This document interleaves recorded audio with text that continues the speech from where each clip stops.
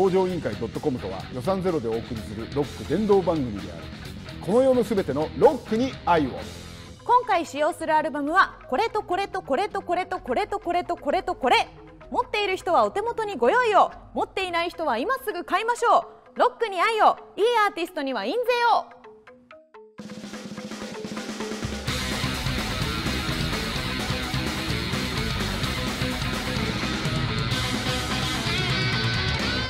ロック工場委員会。ドットコム。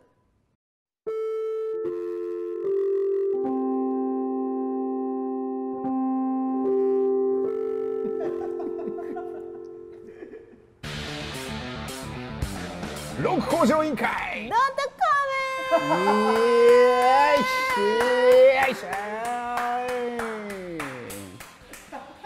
まあ今のちょっとあの微妙なスタイルは、はい。えーまだ皆様ねなかなかこれ持ってる方少ないかもしれませんけどもね。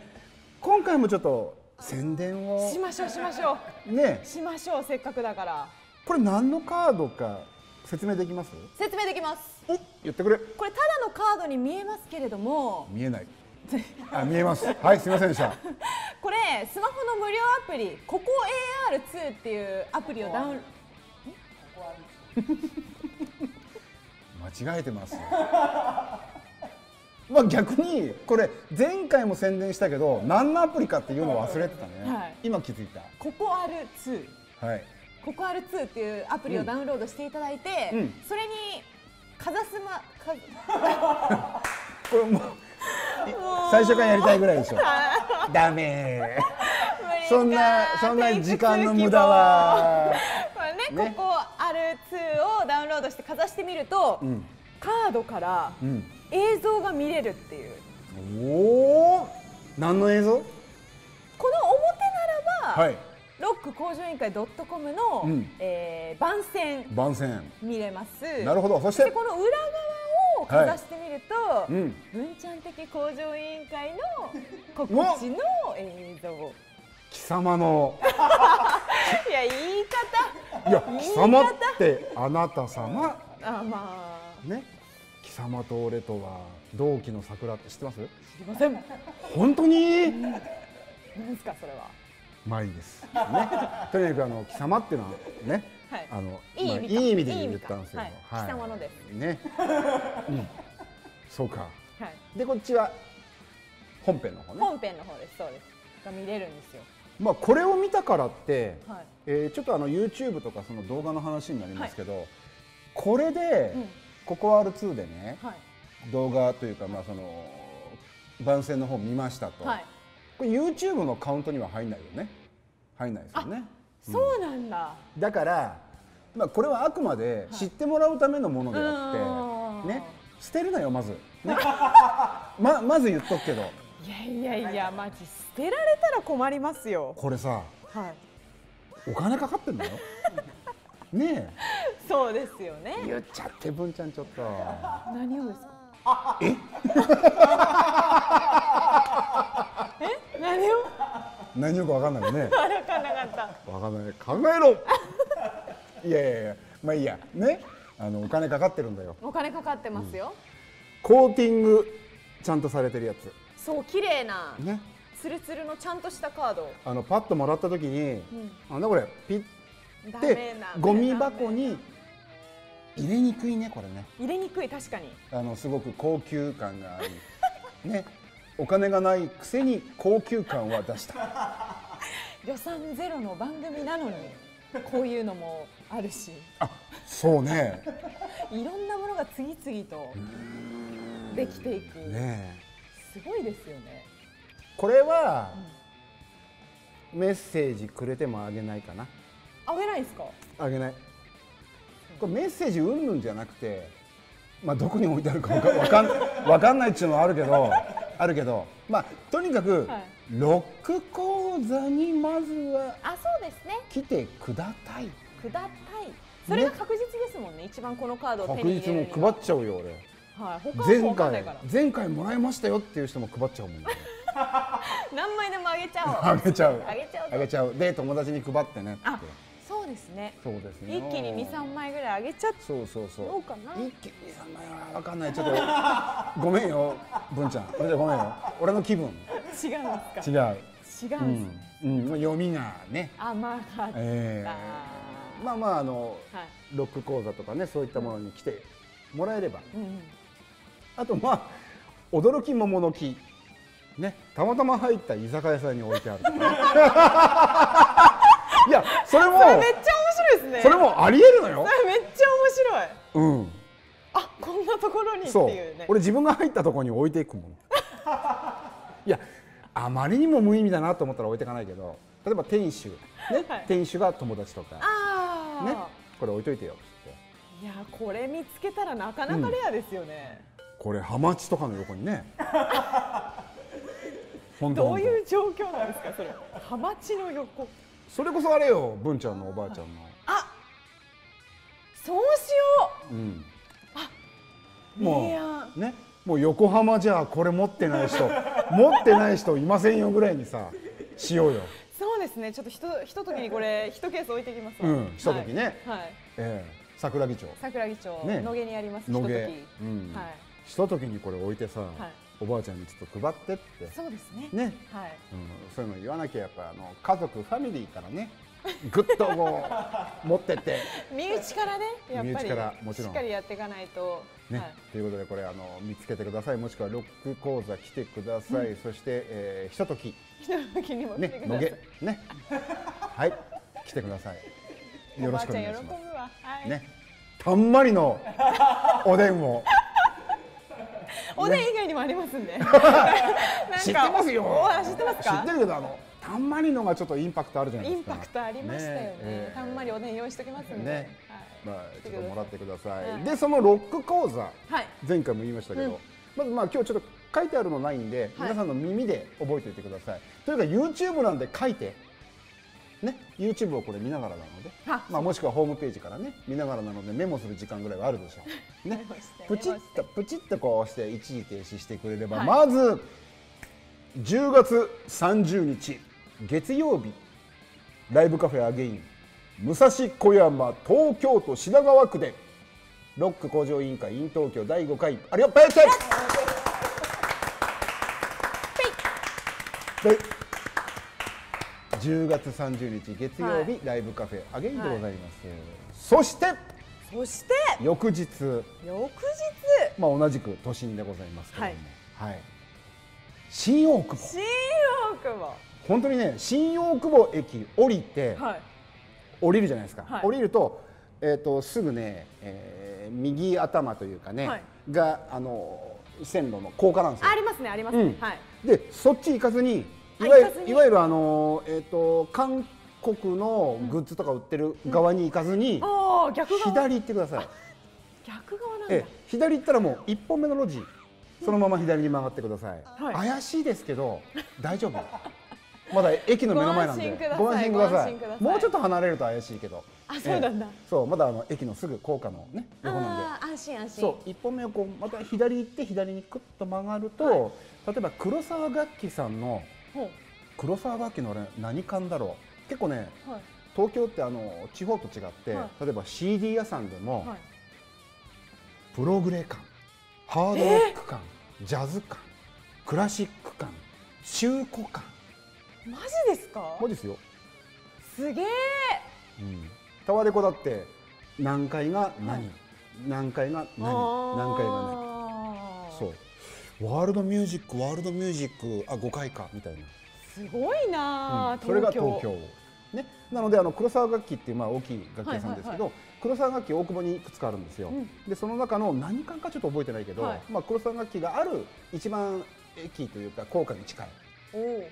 その黒沢楽器が右にあるなと思ったらすぐ左側が、もう大久保水族館。ね。名前が。そう 一見そんなロック講座をやりそうにもない、だけどライブハウスなんですよね。はそう。こうやってピシッってこう入るとこう全部壁が水槽になってて、はいはいはいはい水槽で俺が泳いでるってあ新しいな。うん。院長が泳いでるのをうん。見ると、見る。ただただそうあ言うよ。ロック講座。あ本当ですか？言う泳ぎながらも。泳ぎながら、ええ、あ僕は泳いでないかもしれない。ごめんなさい。ちょっと間違えました。嘘か。え嘘です。はい、はい。だと思いました。あのー魚が泳いでます。はい。はい。で、まあ、そこであのあるんですよ。ライブハウスをやるところが、ね、ライブハウスをやるところじゃない。ライブをやるところが、はい、でその名前が大久保水族館。そこでロック講座。ええ。2days 本当すごいですね。ね二日連チャンでよろしくお願いします二日連続で来てほしい。何やるかはちなみになんかあるんですか？まだ まだね決まってないですあ、そうなんですね。ええで基本的に両方同じにはしないつもりですあ、連チャンでいける。はいだから連チャンで見たい人はね、違う項目をね違う内容を見ることができるとい二日連続で学べるという。うよろしくお願いします夜です？夜ですもちろんはいじゃあ仕事終わりに。基本的にはちょっとまだ決まってないけど、まあ、7時半オープンえー7時半スタートじゃないかな。はい。じゃあ定時に終わってからではい。も間に合いますね。なのでいつもあのロック工場委員会 .com 見てますよという人もいやー、声をおかけください。人が出てきたら嬉しいですね。声をおかけください。よろしくお願いします。このリストバンドのあの募集もまだしてますんで。募集しとく？メッセージ。あ俺さ今気づいたこれ。反対だったいいよ。言って。募集してますんで。はい。メッセージと合わせてこれ欲しいぞって言ったらえ送っちゃおうかなと思って。なん。タメ口になってる？ごめんよ。なんでタメ口になって？タメ口でした。今 いやいいですいいです。視聴者に対してね。タメ口ね。うんそれもどうかと。ごめんなさい。えー、いいえいいえ。大丈夫ですよ。そうそうそう。これねあのまだ商品化されてないというか商品化するつもりは基本的にはありません。ね、えーディレクターの川茶がですね、はい。えー精魂込めて考えた、うん。ね。これは、えーかわいい。リストバンドうん。サポーター、リストバンドですね。でございます。はい。かわいい。タオル地、オレンジ色、うん、俺なんかもう汗よくかきますからね。緑バージョン。はい。よく汗かきますんでこれあの吸ってくれるんじゃないかな。そうですね、もうだんだんあれですけどね。もう9月？はい。でちょっとずつ涼しくはなってきてますよね。なってないと思うよ。まだ暑いよね、うん、9月も暑かったんですね。暑い。去年あたりなんか10月も暑いよ。えー、そうでしたっけ？そうそう。い11月とかで一気に11月の真ん中とかでね一気に確か。えそんなでしたっけ？なそう。もうね環境破壊やめてよ。本当に。本当にやめてほしい。このさ俺だけ私だけ気をつけても変わんねえじゃんっていう人多いじゃん、変わるのよ。それを言ってる1万人がさはい。例えばその排気ガス的なものとかさ、その車でも何でもいいんだけど、そういうものとかその電気とかさ、あのいわゆるエネルギーの、うん。あ関連だよね、はい。あとゴミのこととかね、うん。そういうのちゃんとしてくれるだけで全然違うのよ。でもさん車乗ってますよね。乗ってる。で？あ車に乗るなってこと？乗るな。無理かな 私車乗ってないんで環境破壊してない。いやー僕だけがあ俺が言ってしまった。なんつってね、えーまあでもね。そう車はしょうがないあの、まあう動くあれですからね。もうそれしかないんで、えー他のことでちゃんと気をつけてますよ。はあそうなんですい、ね。ねということでまあ暑いんですよまだまだ。ね。よろしくお願いします。9月暑いよ。はい、はい。うん、暑いじゃない今日。まあこれいつ撮ってるのっていうのもあるからうねでも、うん。とりあえず暑いですね。ね。暑いっていうことだけは伝えておきましょう、じゃあそろそろね今日もつまんない話いっぱいする えっとカード言ったこれ言った,、はい言った。ロック講座言っ言った。テーマだ。よし。行ってみよでれん。今回のテーマはこちらです60年代ブリティッシュビートシーン英曲英国のシン略ブリティッシュイベンションという現象。う A 曲 ええ曲。A 曲。パート2ねこれ英国と A 曲やなっていうね。かけてみました。かけてみてね。ううんまいなあ文ちゃん。座布団もう一枚ね。はい。はい、はい。ね、ブリティッシュビートシーン。今回は後編でございます後編です、ねまあ、かなりはしょってますけどもそれでもね前回はまあビートルズローリング・ストーンズという当たり前のところから、サーチャーズスインギング・ブルージーンズ、デイブ・クラーク5ヤードバーズスペンサー・デイビスグループそれからくさんでやりましたね。全部やりましたね。あそうだ。ディレクターから言われてたけど、はい。もうブリティッシュインベージョンとかブリティッシュビートっていうのをはい。ほぼ分かってる体で喋り続けてしまってると、はい前回は、一応軽く説明をしてくださいというねあ話がありましたけどもね、まあ、ブリティッシュビート、はい。えーまあ、ビートルズからですね基本的に、で前回お届けしたようなバンドがドーって出てきて、はい。まあ、ビートルズローリング・ストーンズあたりが一番、まあ、アメリカでも売れていたんですけどもね、でどんどんと世界を席巻していく中ではい。アメリカではい。売れてる曲とか売れてるアーティストミュージシャンっていうのははい。やっぱりアメリカであるべきなわけですよね。ね。はい。ね。だけども、えーなんとチャートがドバババババーっとブリティッシュバンド英国のバンドはい。がすごくこう埋まるようになって。るうんうんうんうんうん。えー、アメリカの人たちどうしちゃったの？と。いう現象です。それこそがはい。ブリティッシュインベージョン。はい、シーンの話ではないです。現象です、うん。はい、うん。そういうふうにアメリカでイギリスのバンドが売れていってしまった、ん。それを英国の侵略はい。ブリティッシュ・インベージョンと、ね、でアメリカで売れるってことはアメリカの,、はい。あの人たちがお金を落としていくわけだからその CD を買うの。あまあまあねディストリビュートというかそのレコード会社とかはね、はい。アメリカももちろんあるので、はい。まあ、そこも儲けるんですけどもね、やっぱりなるべくならアメリカはアメリカのミュージシャン買ってほしいじゃないですか、まあそうですよそう。ねそれをまあこう席巻してしまったと。アメリカがイギリスを席巻して、えー、ブリティッシュインベージョン。イギリス？逆逆ですね。逆ですね。逆ですね。あうーんアメリカでイギリスのバンドが席巻してブリティッシュインベージョンですね、そう侵略をしちゃったね、はい、イギリスではアメリカのバンドはどうなんですか？いや売れるよ、あー。うん、ただ全米っていう市場ってはい。世界一だ、あーそういうことか。世界一そうかそうかそうか。イギリスの市場なんてはい日本より小さいんじゃないかな。あそうなんですね。そう。へえ。なのでそうか。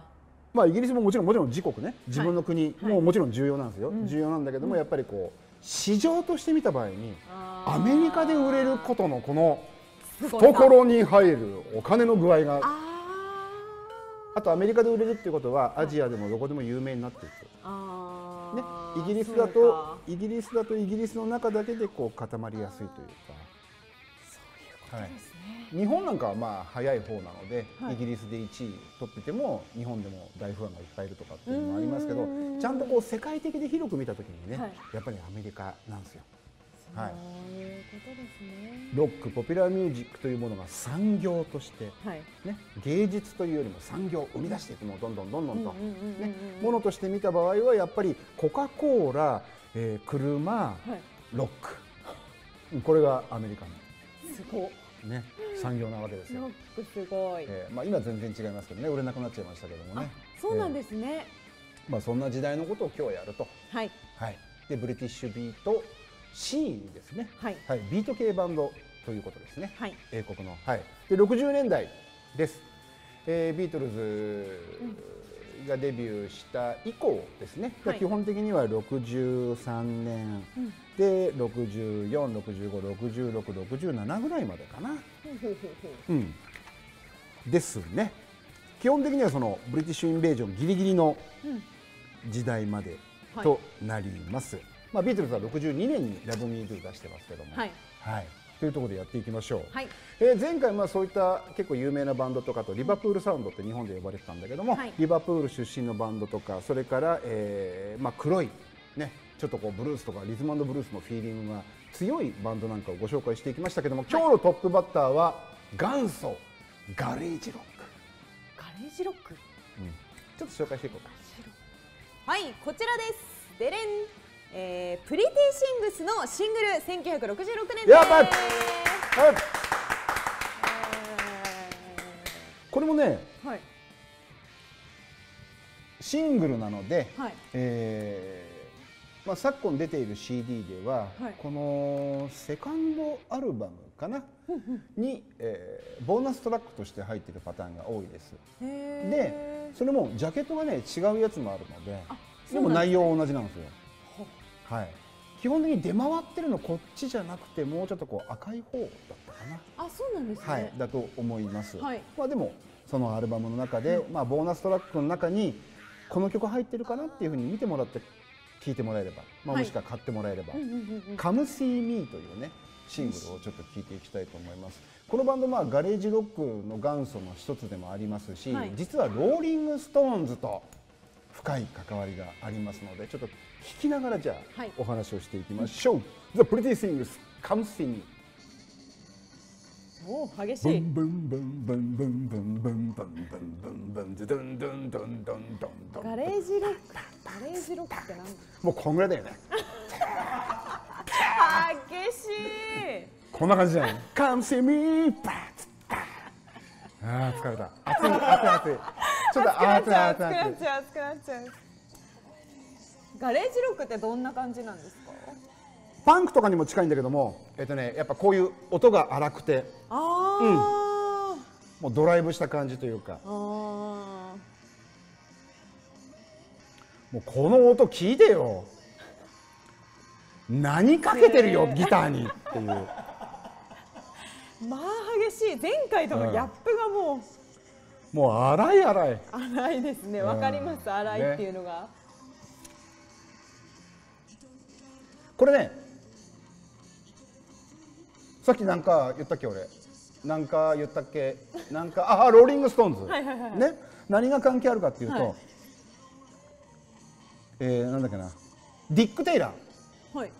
という人がいまして、まあ、基本的にディック・テイラーが、まあ、この頃はリーダーなんですけども、ギタリスト。はい。ディック・テイラーはローリング・ストーンズがデビューする前に一緒にローリング・ストーンズのメンツとバンドを組っていますバンドを組っていますねバンドを組んでいます。へはい。え、ディック・テイラーとミック・ジャガーがまずバンドをはい。結成します。はい。でディック・テイラーが、はい。まあ、学校行くわけですよ、えー美術学校だったかな、うんうんうんはい、で学校に行った時にキース・リチャードと出会うわけですよ。はい。はい、でいろいろとこうセッションして遊んでいくわけですね、はい。でバンドが出来上がると、ん。でその頃に前回言いましたねブライアン・ジョーンズ。はい。覚えてます？ブライアンジョーンズ。最初はリーダーだったんだけど。最初はリーダーだったんだけど。クビになっちゃった人。え？クビになっちゃった人。あそうそうそうそうそうあそう。でブライアン・ジョーンズとかが、はい。まあ、ミックとかそう組んでたこのディック・テイラー組んではい。たバンドとかに、まあ、ブライアン・ジョーンズも新しく知り合いになって、ん。まあ、出会って、はい。ローリング・ストーンズ結成へとつながっていくわけですよ。はブライアン・ジョーンズがいたことによって、まあ、ザ・ローリング・ストーンズという名前に変わっていくわけですね。だけどギタリスト他にもねいたんですよ。はいはいはい。うん、でディック・テイラーさんはですね自分ギターやりたかったのに、ベースに転向する羽目になってしまったと。え？でなんか俺の扱いいまいちになったよね。ええ。そうなりますよね。そう。うん。なんか俺の扱いうん？みたいなさ、複雑な感じだね。うんそう。ね、へまあ、だってキース・リチャーズギター、はい。ブライアン・ジョーンズギター、はい。ディック・テイラーもギター。ギター。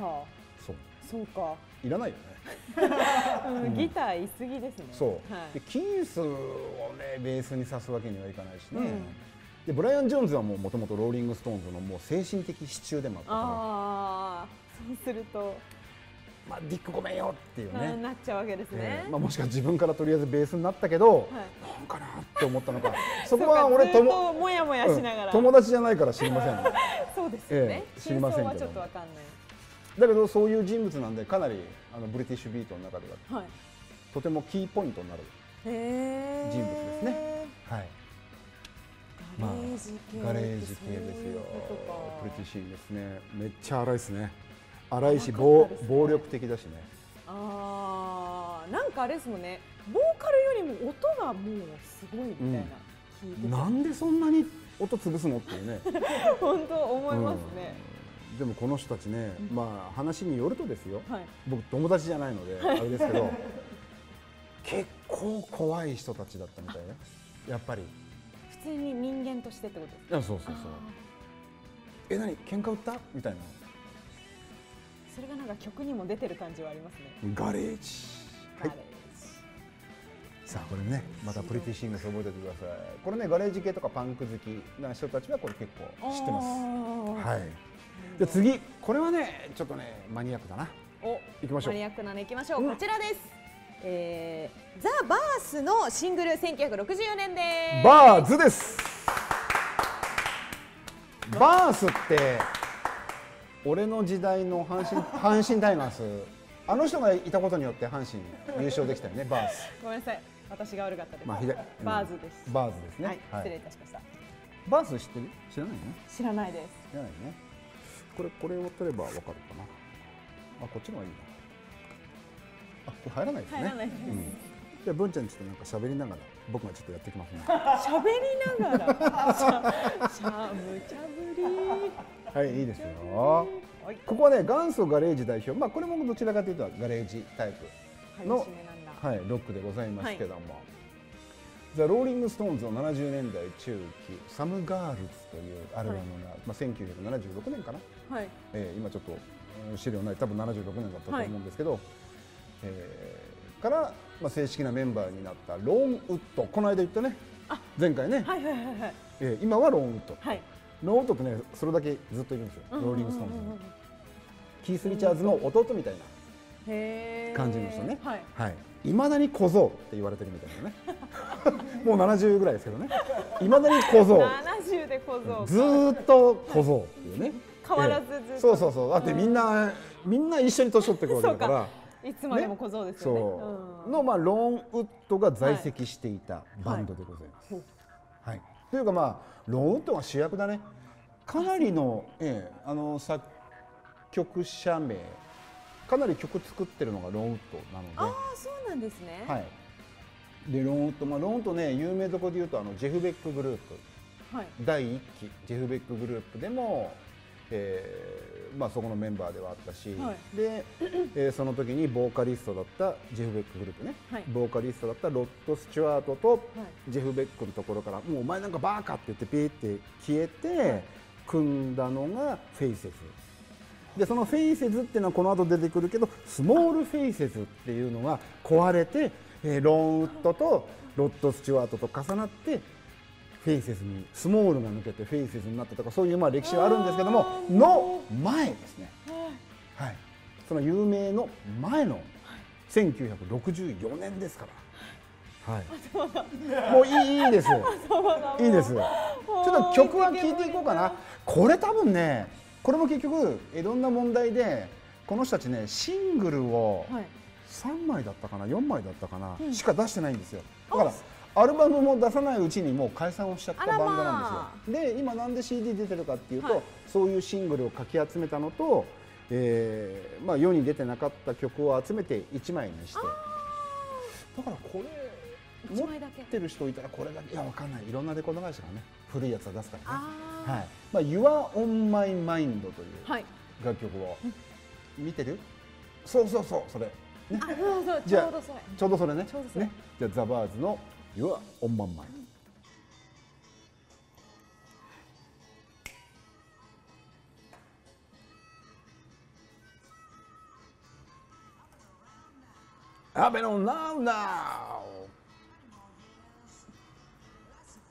これねサビ。はい。今ほとんどラップ状態じゃん。はい。サビ可愛いよ。あそうなんですか、さっきの曲よりかそんなになんか荒さは感じないちょっとこれ早くなるんだけどもうちょっとすると。はいここから「てんてんてんてんてんてん」こんな感じだよね。やまままいててんやままま今可愛いって言ってたのがわかわかります、うんそうこれねはいえーっとねこのザ・バーズっていう名前の付け方が悪かったのかはいアメリカにもバーズっているんですよ。あそうなんですね。でこれねめっちゃ有名なの。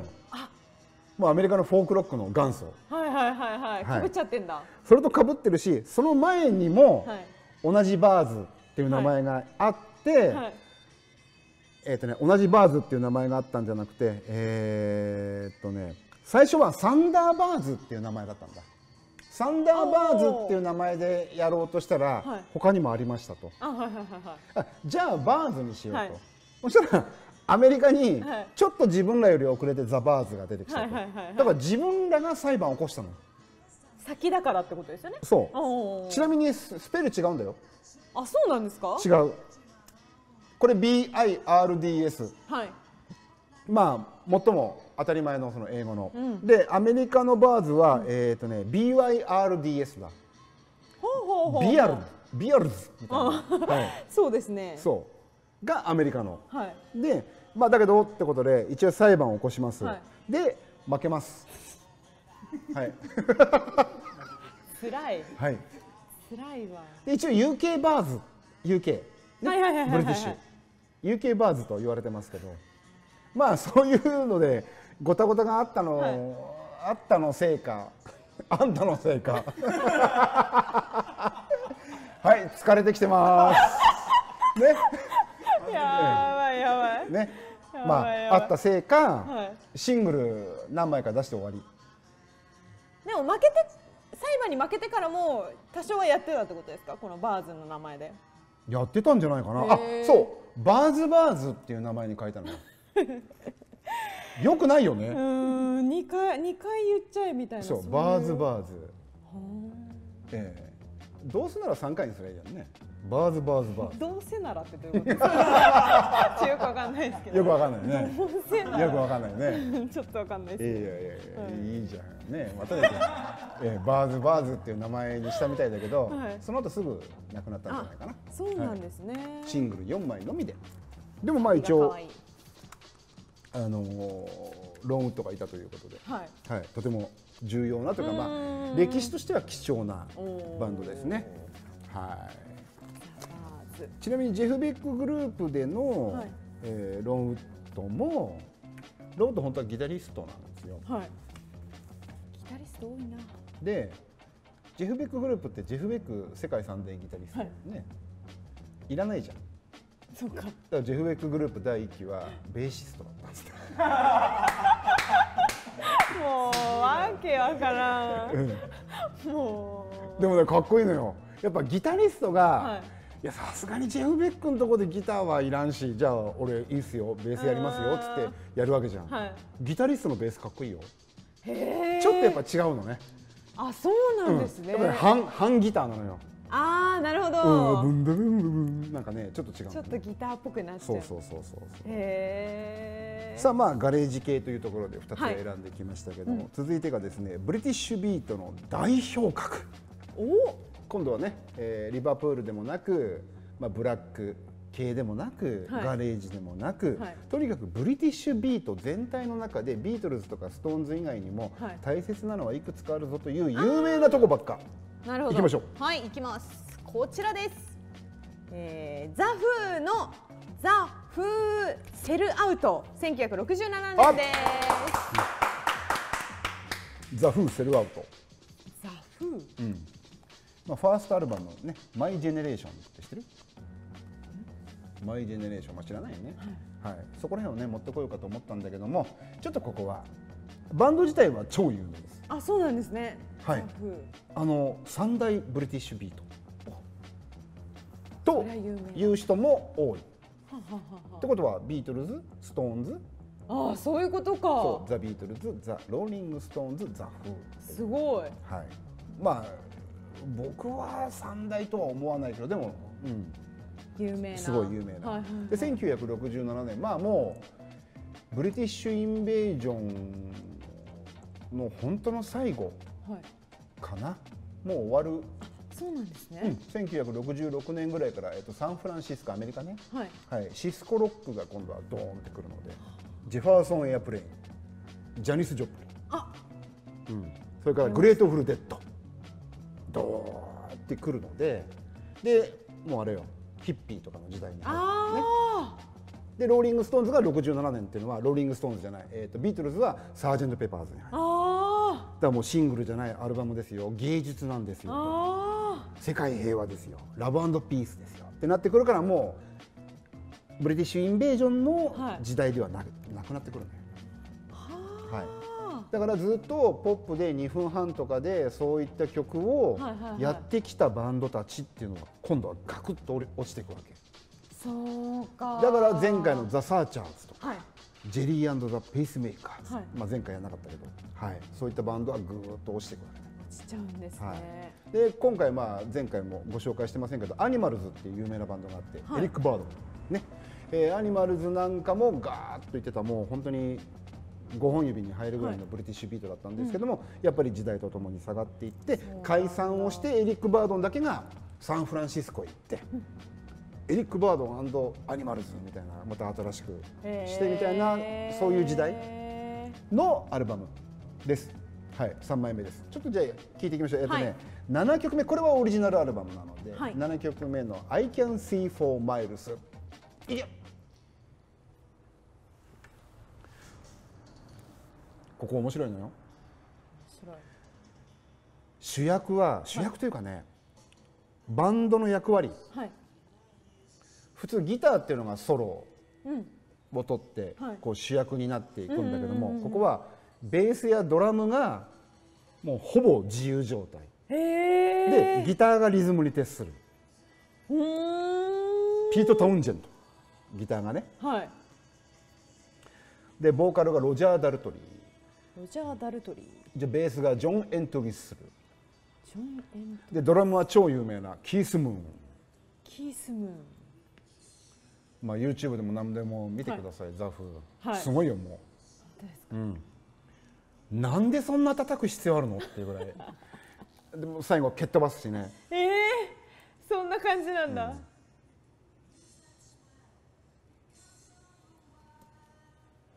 I can see for my my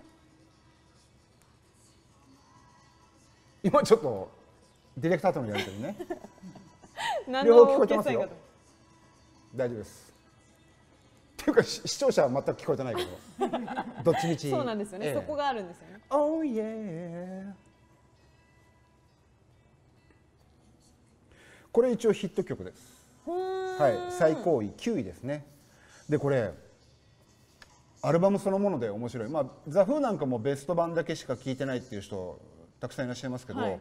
オリジナル聴いた方がいいですよ。へえ、はいまあ、この前のアルバムも「クイック・ワン」だったかな？っていうタイトルかな、はい。アルバムもすごいしこれもすごいんだけど、これ面白いのがコンセプトアルバムになってて、実在した海賊ラジオ番組ラジオ放送。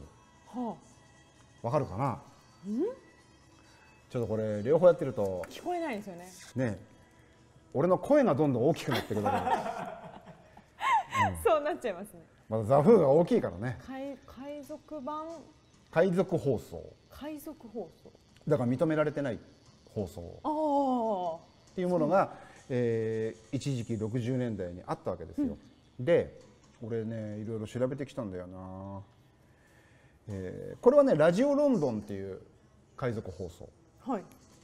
を、えーコンセプトとして、ん。でそれが本当に実在した、でラジオロンドンだけじゃなくて他にもラジオルクセンブルグっていうラジオとか、はい。それがいわゆるその政府とかのちゃんと認可を下りずに海賊として放送をしていたと、でもそれを若者はみんな聞いていたと。でそれはなぜかというと、まあ、国の規定で BBC ってあのいわゆる日本でいう N NH とあ同じようなあれですけど、はいはいはい。BBC っていうのがあって、はい BBC がロックポップスいわゆるポピュラーミュージックっていうのは1日放送45分にしましょうと、えー、そんな決まってたんだ。うん、45分短いよね。短いですね。えー、っていう。一日の中でですもんね。他クラシックかよみたいなさ、確かに。うん、で短い。も本当にそうだったの、えー、そうすると若者たちはさええ？っていうさ。そうですよでね海賊放送っていうのを本当にやったの。あで海賊放送をやってそこに後々 BBC に入っていく人とかもいるんだけども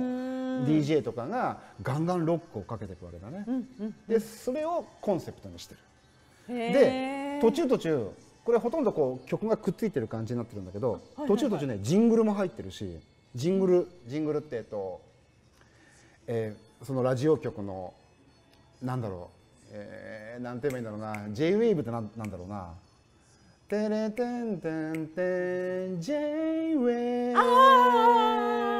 ハバルギブルクルギマルシャーフィッシュシャー J-WAVE っていうねあありそう、とかコーナーコーナーの間にサウンドステッカーっつってさはいあのー何コーナー終わって次に行くっていうのがさ、そのまま行かずに必ずちょっとした20秒ぐらいああわかりますわかります、あれを実在のものを使ってる本当のそのラジオロンドンへえで CM もこれこの中に。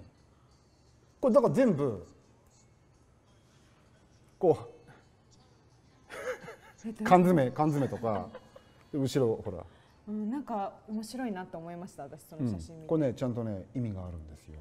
じゃあこれあれですねこう、まん丸々全部をちゃんと聞いた方が面白いですね、今まあそのままかおちゃん聞いてますけど、はい。今さっきのは多分ジングルだよね。あそうだったんですね。そうそうだったんですそう。そうそうそう。そう、うん、これね68年で、えー改正になって法律がねたはい。改正になって、えーその海賊放送自体が完璧なイリーガル、違法になっちゃって、できなくなる。うん、本当に摘発するよと。あなのでまあみんなできなくなっちゃあー。ってでその最後の放送日、はい。ミック・ジャガーとかメッセージをへえ送ってるもんだからミックとか聞いてんだよね。そうなんですね。そう。有名な人たちも。そう。ミック・ジャガーとかね、うんリンゴスターとかね、はい。い、ろいろと残念ですなんつって、まあ、なん 何のメッセージかわかんないけど、はい。多分残念だね。これからもロックだぜみたいなメッセージを送ったんでしょう。で、まあ、これだけで話長くなっちゃうけど、これ実際のね、えー缶詰とかね。はい、実際のこういろんなコマーシャル、あとね、コカコーラとかも入ってるんじゃないかなね、はい、でこれはね、まあ、ピート・タウンジェント、はい。ね、曲も作ってギタリストで、うん。はい。まあ、基本的には頭脳ですよね。でこのピート・タウンジェントがついでに営業になるじゃんっていう。英語になるこの、まあ、昔 LP レコードはい。LP レコードの中で、まあ、これが要するに一つのラジオ番組みたいなもんじゃない、はいラジオ局みたいなもんじゃうんうんうんうん。んでしょ？はい。で実際にあんたらのコマーシャル流すからスポンサーなれ金くれって。すごいでしょ？そんな手法が。そう。だって俺らのしレコード買うでしょみんなって。金くれわからなくもないけど。というでも面白いよね。面白いですね。う、ん。なかなか考えないよ、うん、そんな聞かせ方があったかってねいう、レコードの中に。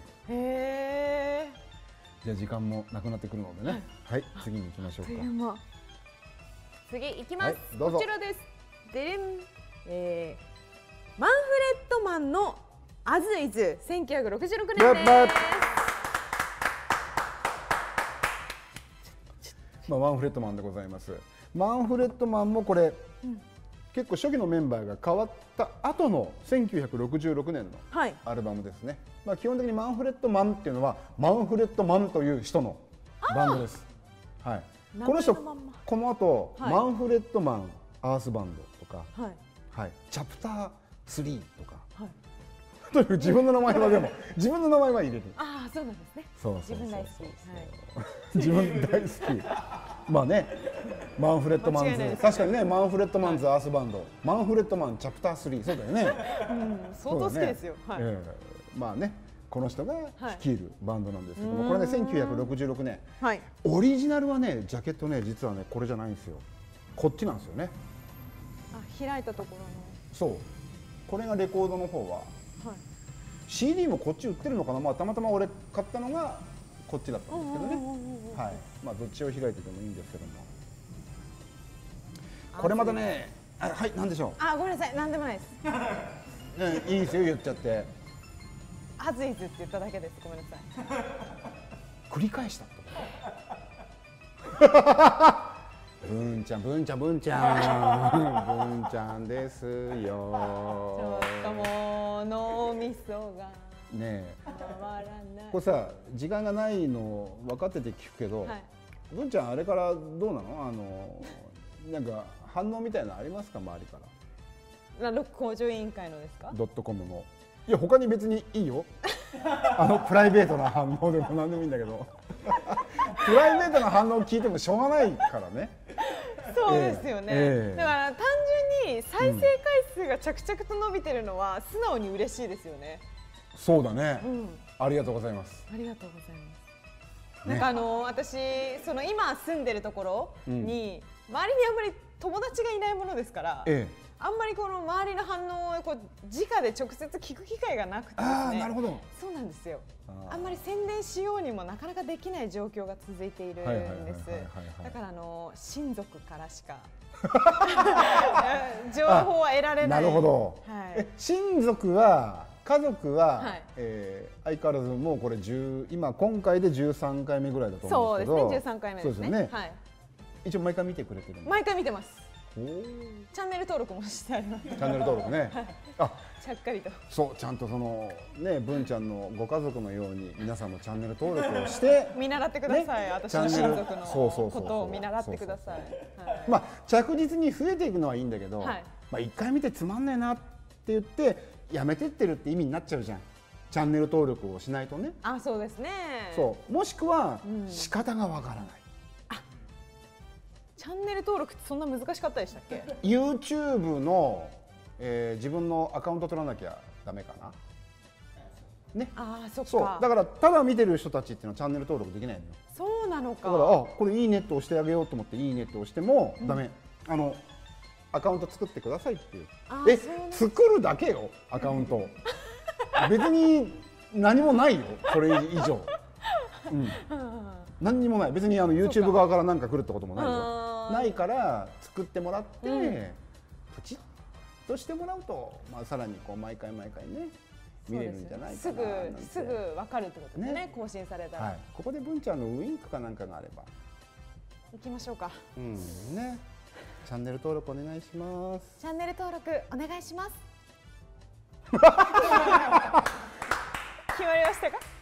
決まりましたか、あんまり決まってないね。あ今ね嘘もう一回なんかいまいちだったな。時間の無駄な気がするな無駄かな。まあ今ちょっと母ちゃんがやってほしいみたいだから、はいどうぞ。はいチャンネル登録お願いします まあ苦手なんだねウインクもね。苦手なんですよああいいよすい。ません尺を使ってもらっちゃって申し訳ないです、いえいえ。じゃあちょっとこれいこうかね。えートラブルティーという一曲目でございますね。まあこれを聞いていきながらね、はいえーまた文ちゃんに思いを馳せましょう。ということで トラブルティー。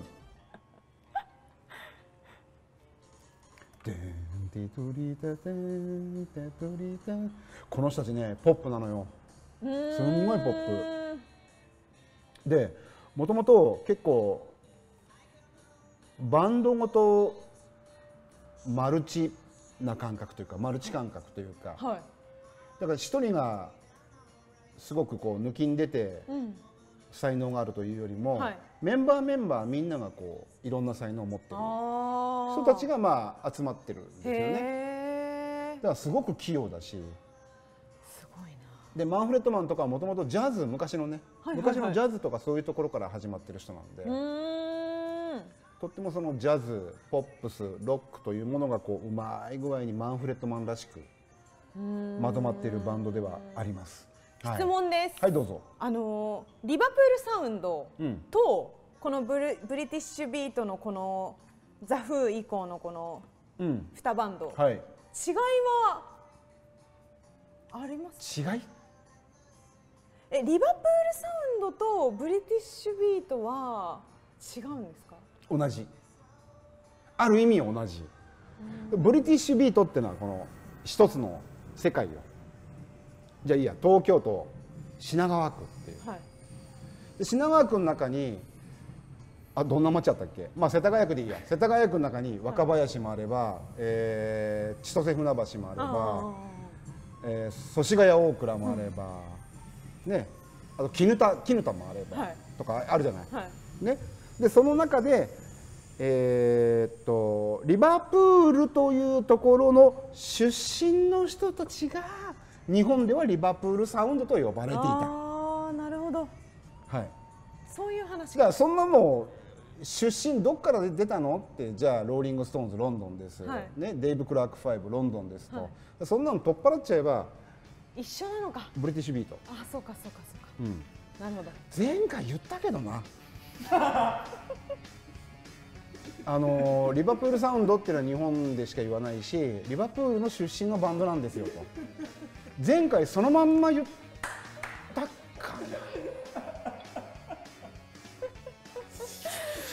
その時いました？私。ないいた。ちょうどいなかった気がする。確実にいたよ。あいました。収録中だもの。俺言ってるの。すいませんでした。えー収録中以外に言わないしね。そんなことはいということで。ごめんなさい。いいえマンフレットマンね。僕大好きでね。あそうなんですね、はい、チャプター3とかそれからはい。マンフレッド・マンズ・アース・バンドなんか全部持ってるよ俺。おお。かなり多いよ。すごい。ええ。じゃあ毎日聞くかって言ったら聞かないけどね。まあいっぱいありますからね。はい、まあ、マンフレッド・マンでもねすごく重要です、はい。そしてまあブリティッシュビートの中で本当に安定感があるとか、あとこうジャジーな感じとか、あとね一緒に歌えるっていう意味ではビートルズみたいな一緒に歌えるじゃない一緒に歌える歌が多い。うん、なんかなんて言ったらいいのかな。その、まあ、曲をちょっとかけてみないとね、はい。説明ができないけども。いい曲多いですよ。はい、マンフレットマン。はい。お願いします。さあ続いて。続いていきましょうこれ僕のねベスト5のバンドです。おおいきます。こちらです。えー、ザ・キンクスのファーストアルバム1960年スラッシなぜさんおすすめ？はい。ブリティッシュの中でははい。僕はストーンズ・キンクスっていうのはもう同じトップにいます。おお同じトップですはい。どういう良さどういう良さが？があるんだろあう。んた本当にあれね。微妙な質問するよね。どういうふうにいいのとかさ。どういうふうって言われてもね。どう？いやまあ言われた以上は言わなきゃいけないですね。まずねはい。あのーまあ、これファーストアルバムはそんなことないんだけども、はい。えーレイ・デイビスとデイブ・デイビスっていう兄弟、はい。この兄弟が基本的に仲悪いんだけど、この兄弟が基本的にザ・キンクスなんですよ、はい。イコール、はい。でまあメンバーはちょこちょことこう変わってはいくんですけども、はい。でそのレイ・デイビスお兄ちゃん、お兄ちゃんがイコールキンクスなんですよ、ああそうなんですね、うん、デイブ・デイビスよりもお兄ちゃんがまずイコールキキンクスなんですね。はい。曲も95%レイ・デイビス。はい。一人で書きます。はい、でレイ・デイビス先生っていうのは他のここがいいところなんだね。はい僕そういう人好きなんですけど、はい。他のロックアーティストとかと違って、はい。例えばですよ。はい。姉ちゃん連れ回して、高い、まあ、昔で言うとディスコとかね、はいはいはい。あるんですよ有名な、えー、とお金持ちの人ばっかなんて言うんだっけ？最近。最近っていうかここ10年ぐらい。えっと金持ちとか。あセレブ。セレブです、うん。俺そういう言葉は忘れる、まセレブだとは思わなかった、そうはいここ最近でもない。えじゃあに15年ぐらい？20年？ぐらいもっと前？あ本当。縁がないからか？な、ええ。それセレブね。はいセレブはい。例えばセレブが集まりますと、うん。絶対行かない。もなんか。うもうもうまずね家にいるの好きな人だから。バンドマンっぽくないですね、バンドマンっぽくないのよ、はい。でねいつも何かね構想を練ってるのだから中期、まあ、このあと70年代ぐらい60年代後半からだけど、はい。もうねアルバム出す出すアルバム全部はい。コンセプトアルバム、へだからえストーリー考えちゃうのね。例えば「この村の緑を守ろう」っていうと本当に「ビレッジグリーン」っていうねアルバム。もうもう緑を守る。でそれがあの政府に対して言ってるとかじゃなくて、はい。本当にそういう物語、うん、それを家で考えてるわけ家で考えてそれを構想を練ってキンクスでやるぜっていうへえ賢いんだでも途中はね不安からも嫌がられるぐらいの。もう不安からももうついていけませんっていうぐらい言われるぐらいのこの人はもな深いところまでうほぼねバンドっていうかね、はい。キンクス一座みたいになっちゃうんだよね。へえ、ライブやってても途中セリフだけになったりとかミュージカルみたいにだからまあいいや。とにかくね聞いていきましょう。時間め,、めちゃくちゃないね。はい。ね。これねこれは知ってる。ユーリアリーガットミー。何曲目かわかんないけどえーっとな7 7だ。ユーリアリーガットミー行ってみよう。ででででででででででででででででえ？まさか知らないとは言え。ああ聞いたことあるかも揺れれがみんな。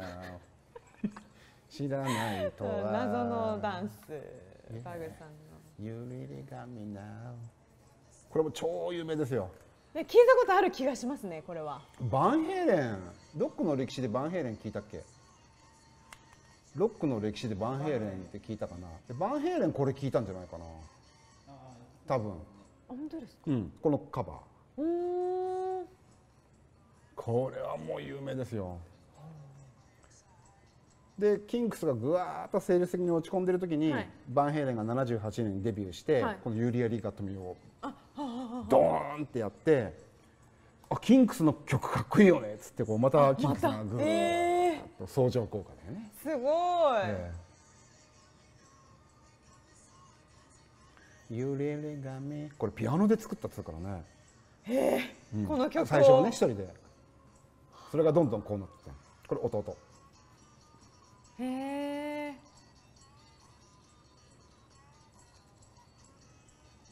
かっこいいな。これプリングばっかりっていうね。プリングってなんですか、うん。タラリロリロ。タあ。の話したりえっとあまあいいや。それでそうこれもう世紀の名曲いっぱい作ってますからキンクスはへええー他にもいっぱいあるんですねじゃあ。ただ日本ではどちらかというとマニアックな方向という形でも今では見られちゃってるかな。はい。レイ・デイビス先生、えー今年ニューアルバム出してますのでお「アメリカーナ」というソロアルバムですね。アメリカ、はい。素晴らしいです。本当ですか、はい。僕はあのなかなかあの曲聴いて感傷的になるってことないんですけど、はいレイ・デイビス先生だけはねポッと時折出してくれるのが素晴らしすぎてねちょっとこううるうるえってきちゃうんですよ、ー、そんなに？うん、素晴らしいです。聞いてください。ね。ザ・みキンクス。ミック・ジャガーの奥さんに、まあ、セレブですけどね。大昔ミック・ジャガーの奥さんに踊ってくれますかって言ったら蹴られたっていうね。ええ。おあんた誰っていう。そんな豆知識も、あんた誰。そんなキンクスそう有名なはずなんだけど。まあし人前にはあんま出ませんから。あそうかそうか。家にいるんだもんねそうそうそう。この人ね奥さんまあ一人逃げられてはい。次は奥さんじゃないんですけどもね。えー、あやべえ名前忘れちゃった。あやべえ名前忘れちゃった。まあいいや。じゃあ次行こはい行きましょうか。うね。はい。はい。続いてこちらです、えー、ザ・ホリーズのステイ・ウィズ・ホリーズホリー1900ズホリーズ1964年です。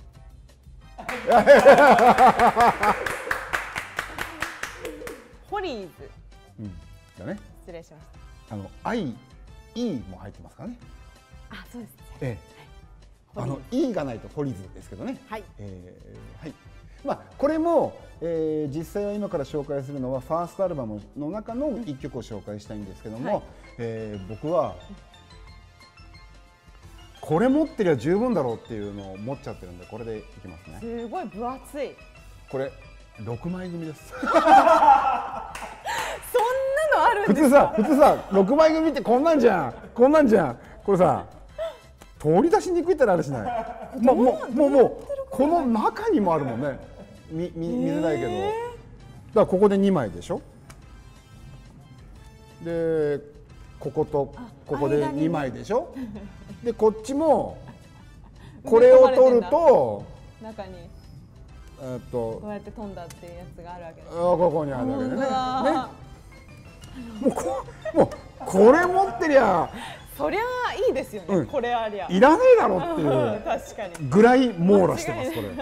ええ。ね。すげえ、はい。またね、えー、アマンとかでもね、えー、あと HM ファンとかね、そういうところでもあの。あ言っていいんだ。あそうだ。HMV とかね。アマゾンとかでもこう探せばあるかもしれない、はい。えー、いや今あのラジオの感覚でいたからはっきり言わない方がいいかな。あラジオはダメなんですねあスポンサーないからだ。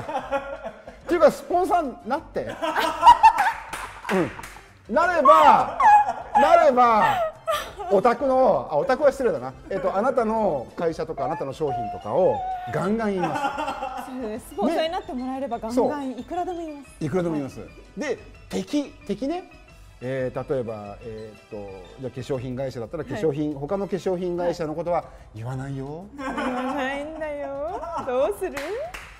なるか？例えばですけどね、文ちゃんに、あちょっと今日面白いからもうちょっと喋っていい？文ちゃんにねこういう化粧品を使ってほしいみたいなスポンサーいいんじゃないかな、まあ、ロックと関係ねえっちゃ関係ないけど。だけどだけどだけど毎回いるわけだから関係あるじゃんね。はあ文ちゃんめっちゃ口紅いいんじゃない今日それは何だろうと思った時に俺がベベーンっつってねこうやってベベーンいそれを宣伝しちゃうこのリップスティックっつってねよくわかんないけど。まあまあそういうふうに、そうですね。えースポンサーがあるとこういうのも、えー、河内屋が自腹を切らなくても 済むのでこれうもディレクターが本当に自腹を切ってくれてますからね、これもあの別に商品化するような形にもなりますしね。そうですね。フォーリアルっていうのもみんな欲しいでしょ。あそうだ。これどうどう思います？これちゃんと見せたことないんじゃないですか？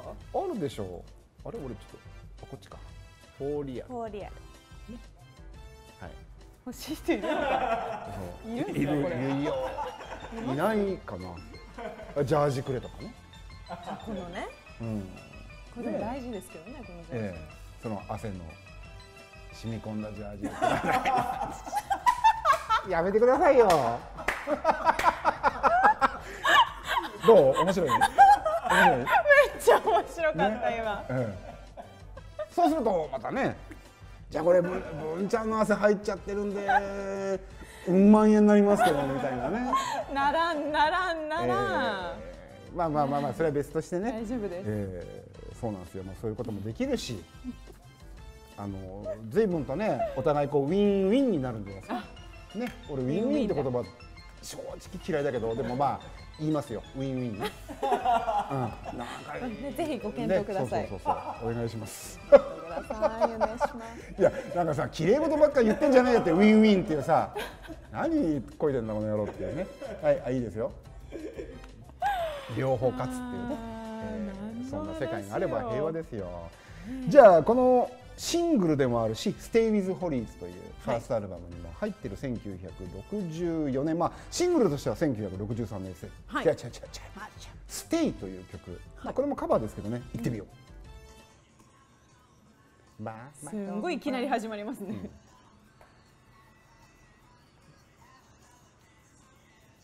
可愛らしい曲だなタッタタラレンナ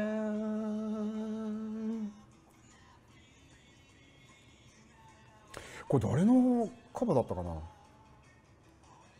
やっぱカバーなんですね。カバー「ママドンマイ」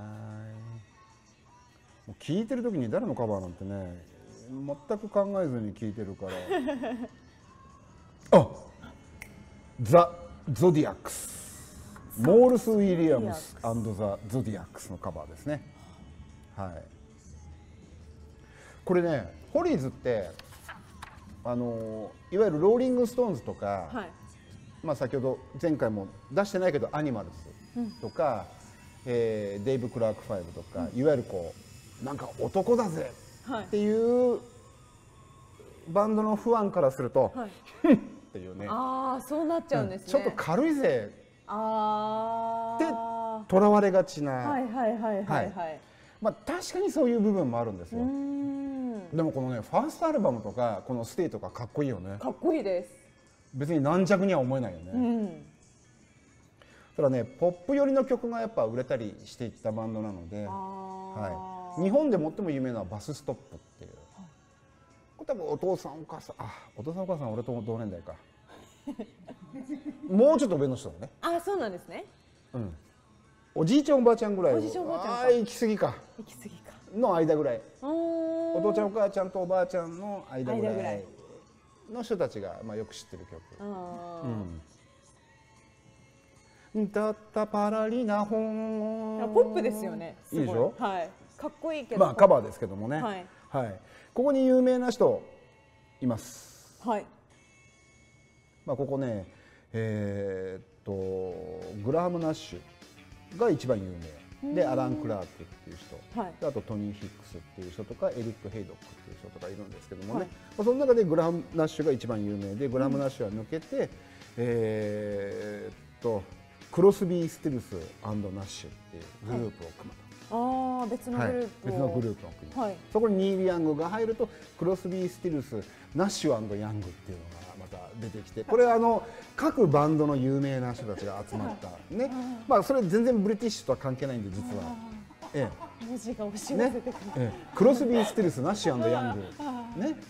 デビッド・クロスビー。はい。ね。はい。グラハム・ナッシュ。ニール・ヤング。スティーブン・スティルス。はいはい。えーね。今日まあちょっと話のノリがだんだんね雑で面白いからいいよね、うん、長くなってしまいましたけどね、はい。これ一応ラストまでいくよね。じゃあラスに、はい。ラスにいきます。ね、一個手前です。はい、はい。こちらです。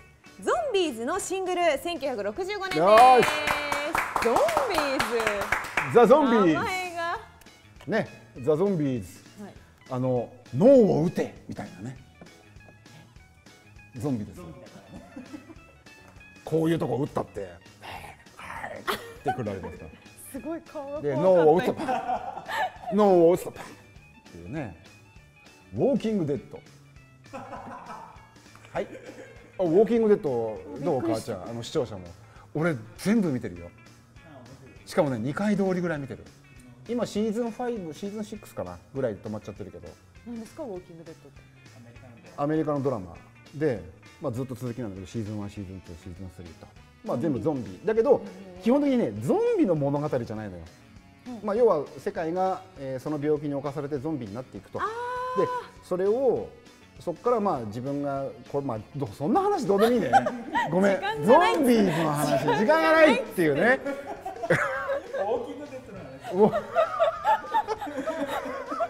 すいません。おしゃべりなもので。ねまあゾンビーズ。はい。いいっすよ。本当に、すね。コリン・ブランストン。いやちょっと真似できねえな。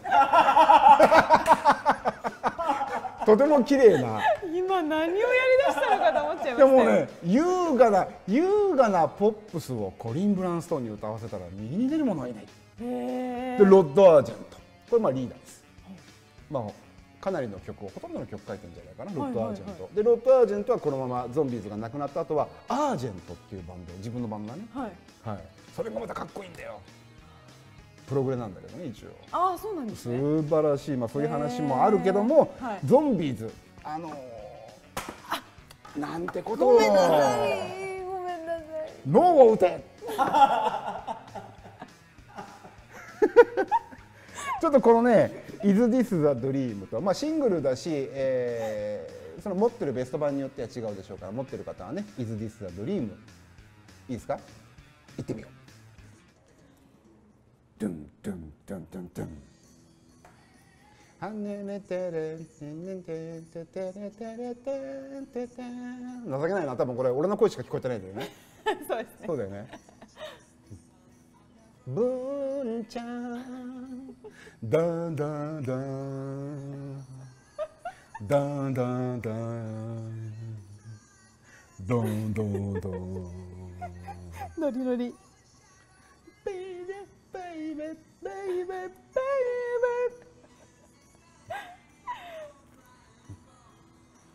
なんかやっぱ私の知ってる曲をあれだなバグさんに紹介したいです。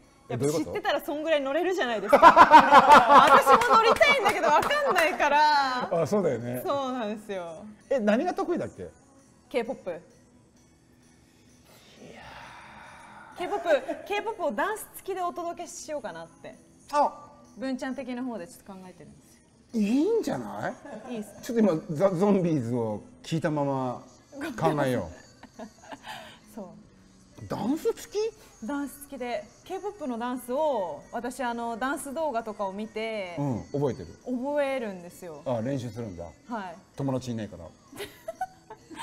いなんで知ってるんですか？いやさっき言ったじゃん自分で。何言ってんだよ。15分前ぐらいに言ったと思うよ。戻してみよう YouTube ね。15分前ぐらい。はい。20分前かもしれない、はい。そうそうですね。あそうなんだ。休みやることないんで、やることないんで、うんうん。動画を見て私基本的に自慢じゃないですけど、ダンス動画見てたら覚えるんですよ。練習しなくても。ほー。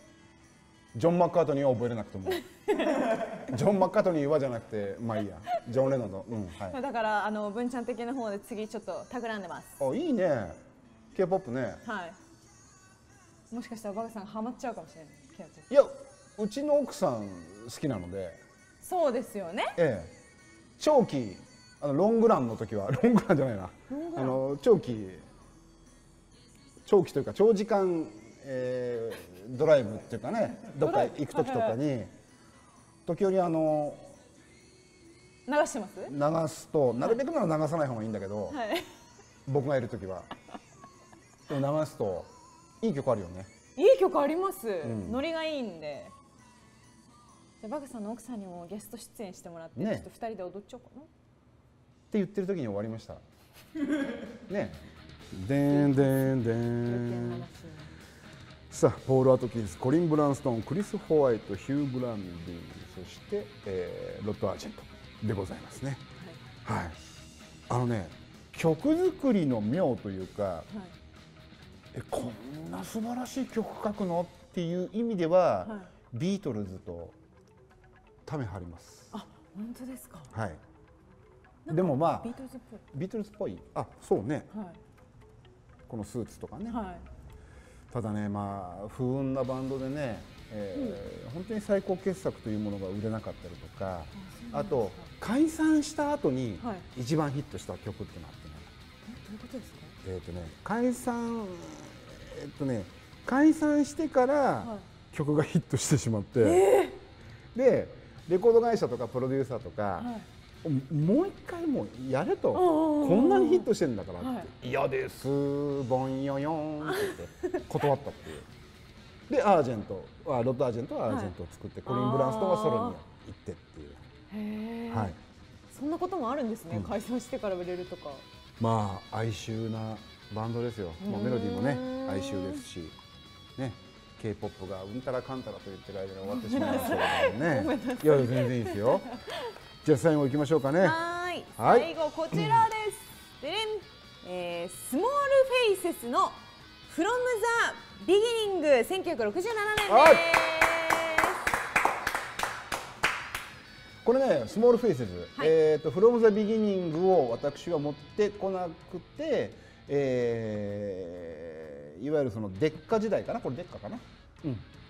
時代の、はい。えーガッと全部入ってるよっていうまあ、プラスあの違うバージョンも入ってるよっていうのを今日は持ってきましたけども、はい。実際の、えーオリジナルアルバムっていうのは「From the Beginning」1967年ですよ。うんでスモールフェイセズって今日言った？この間言った？なんか言ったよね。さっき言ったよね。あさっき言ったんだよね。覚えてる？覚えてます。何？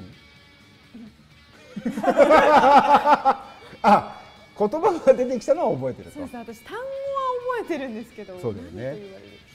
あのーあれですよ。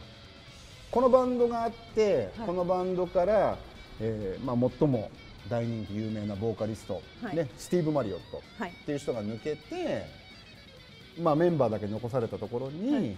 えー先ほど言ったロン・ウッド、まあ、後にスストーンズのメンバー、はい。ね、今でも小僧とは。あね、はい。ロン・ウッド、まあ、ジェフ・ベックグループを辞めたロロン・ウッド、それからジェフ・ベックグループを一緒に辞めたロッド・スチュワートというスーパーボーカリストと、はい。ともに、えーここの残党スモールフェイセスの残党が組んでフェイセズっていうバンドになったよってことをさっき言ったんだね。でその、まあ、前だよねはい、スティーブ・マリオットがいた時代、あはい。まあ、スモールフェイセズそのままです。みんなねちっちゃいんです。顔が。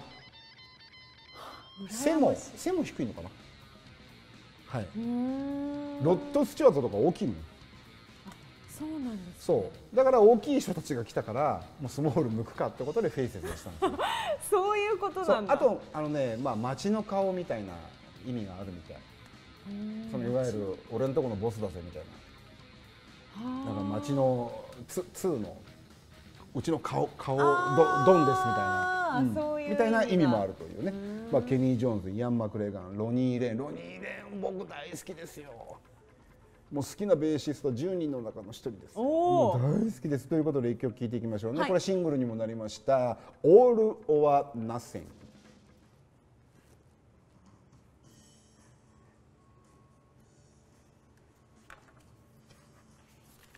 なんかおとなしめなのか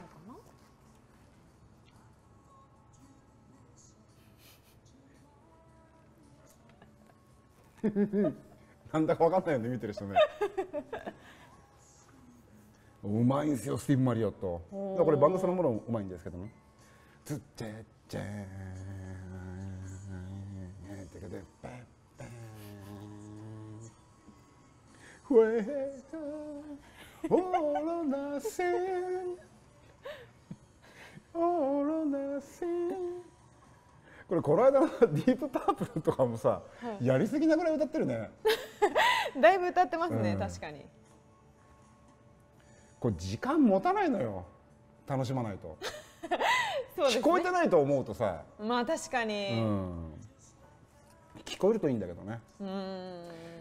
これねあのーいわゆるねデッカレーベルってとこにいたんだけども、はいまあ、デッカって有名なんですよ。はいもともとクラシックとかジャズもやってる、はい。本当にあの老舗の昔からある。うん。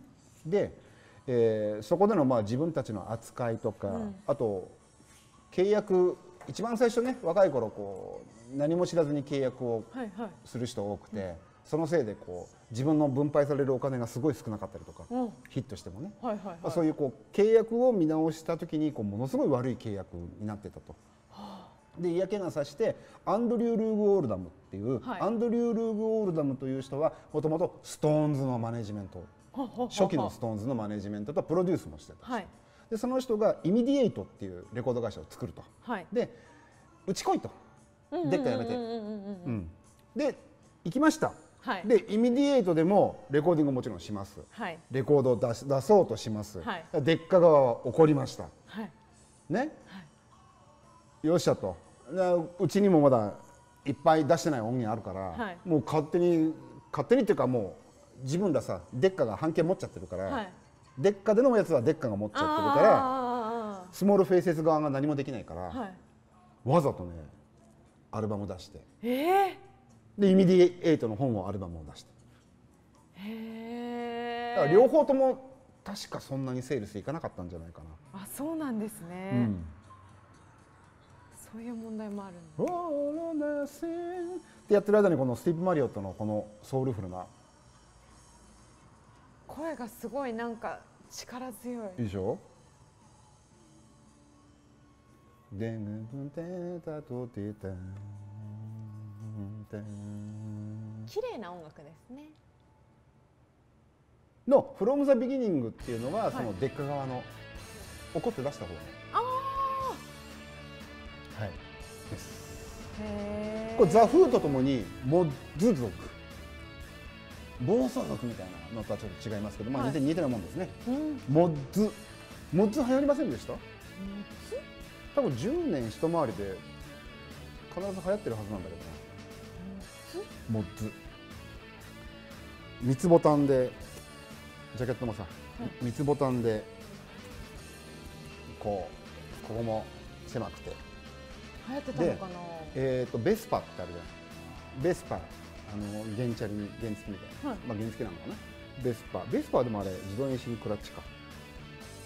でベスパにこうあのミラーを死ぬほどつけてるの。知らない？えー、知らないです。知らない？はそっか。これイギリスはねモッツ族っていうのがあって。いはい。もう10年で必ずね日本も流行りきてると思うんだけどね。あそうなんですかパンパンクの人たちなんかもモッツとかまあ似たような感じっていうか。ん。まあ、っていうのがあってそこのヒーローだね、はい。でザ・フーもヒーロー。ザモモッズが聞いてザ・モッツじゃないやザ・モッツっていうバンドあったから日本に。モッズが、えーヒーローとしていたバンドがザ・フーと。です。はい。まあなんだか今日楽しかったけどね。よくわかんない。か結局なんかちゃんと説明できていたかどうかはよくわかりませんけども。後半はすねごかった、そこへいらへんはちょっとあの、まあ、ご勘弁は、ね、していただくということで、ああやべえ十何秒しかない。えっとどうしようかな。えっと最後にもう一回。六六。10月31日月曜日。10月31日月曜日はライブカフェアゲイン、ね、武蔵小山。小山。東京でございます。はい。ね。えー、ロック講座ね、ロック向上委員会 in 東京第5回目あります。そして翌日31日は K-POP じゃないわ、えー、と 韓流で一時期盛り上がってた新大久保。ね新大久保大久保で、えー、なんだっけ大久保水族館、ね、ライブハウス、ここであのロック講座行いますので皆様よろしくお願いします。よろしくお願いしということであのメッセージとかもくださいね。これに対してもこれに対してでもいいですしねはい。今逆だった。はい。ということで、はい。えー今日もありがとうございました。ありがとうございました。バグ佐世川でした。ます。文賀優香でした。ロック向上委員会。ドットコムでした。さようなら。さようなら。アンダーマイさん。ててれん知ってる？アンダーマイさん。アドマイさん？アンダーマイさん